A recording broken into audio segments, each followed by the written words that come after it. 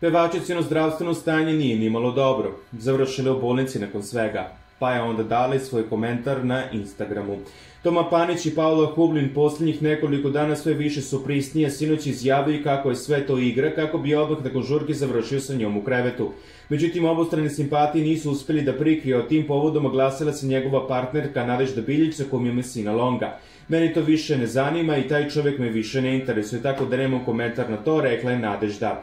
U toku današnjih dana Paula je prokomentarisala da je ružno sa Nadeždane strane što je sve devojke koje su se ljubile sa Tomom nazvala kvetinama, pa smo Nadeždu pitali za komentar i povodom toga. Šta očekivati od kvetine? njima neke sa srećem, ja im želim svu sreću, neće me vidjeti za novu godinu, neće me vidjeti više u životu, ni meni, ni dete. Neka nastavi sa svojim igricama, ja sam sa njim završila svaku priču, kaže Biljićeva, potom otkrila kakvo je sada njeno zdravstveno stanje.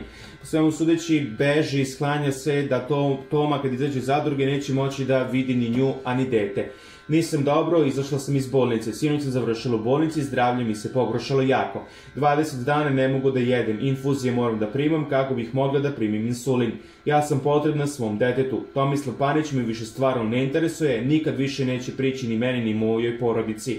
Ja ne želim više da se spuštam na taj nivo, niti ću doći za novu godinu, niti će me ikad više u životu videti i čuti, zaključila je Nadežda. Inače, ona se oglasila na svom Instagramu gde je poručila sledeće. Ne razumem slanje Tominih i Paulinih slika iz kreveta meni. To je završena priča, nema potrebe da mi šaljete, ja sve vidim i znam.